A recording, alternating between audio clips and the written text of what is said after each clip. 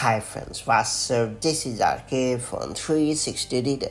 It's time to learn how to ping your Apple Watch from iPhone in iOS 17. For several years, the Apple Watch has had the functionality to help you find your iPhone by pinging it from your wrist. With iOS 17, Apple now allows you to locate your Apple Watch from your iPhone as well. Being similar to Apple Watch Ping iPhone feature, this option would now ring your Apple Watch if both devices are connected to the internet and are in each other's Bluetooth range. That said, let me show you how it works.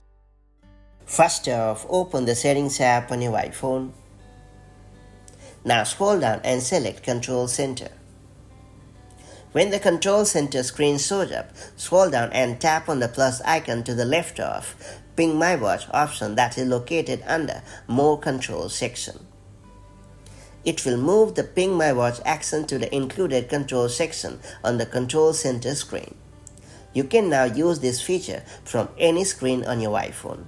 Just make sure that your iPhone and Apple Watch are connected.